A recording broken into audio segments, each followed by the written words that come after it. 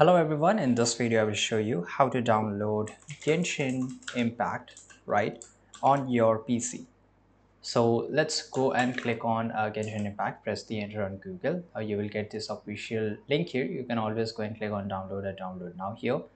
Anyway, let's go and click on this official website link here. Now once we're here, uh, we will get this option of download, right? That is a PC download and other downloads so let's go and click on pc download here. Now as you can see here the downloading has been started. Now once your setup is complete right uh, you have to install it up. So just by clicking on this setup here. Now the setup is done. So let's go and click on the setup here.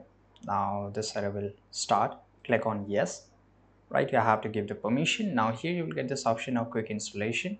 So you can just go and click on i have read. And if you want to select any other language you can always uh, do so click on quick installation. It will start installing in your system right? So it's got install and click on finish and launch. So this is how you can do it. Thanks for watching this video. Subscribe